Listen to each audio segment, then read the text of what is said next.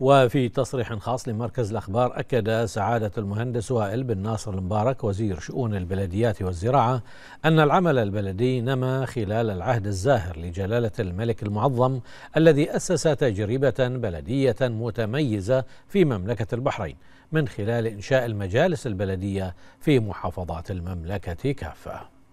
على صعيد العمل البلدي. نستذكر بكل فخر واعتزاز مشروع جلالة حفظه الله ورعاه الوطني الذي أسس لتجربة بلدية متميزة في مملكة البحرين من خلال إنشاء المجالس البلدية المنتخبة والتي تمثل آه، المشاركة الشعبية في صنع واتخاذ القرار في مجال العمل البلدي وأيضا البلديات التي تتمتع باستقلال إداري ومالي.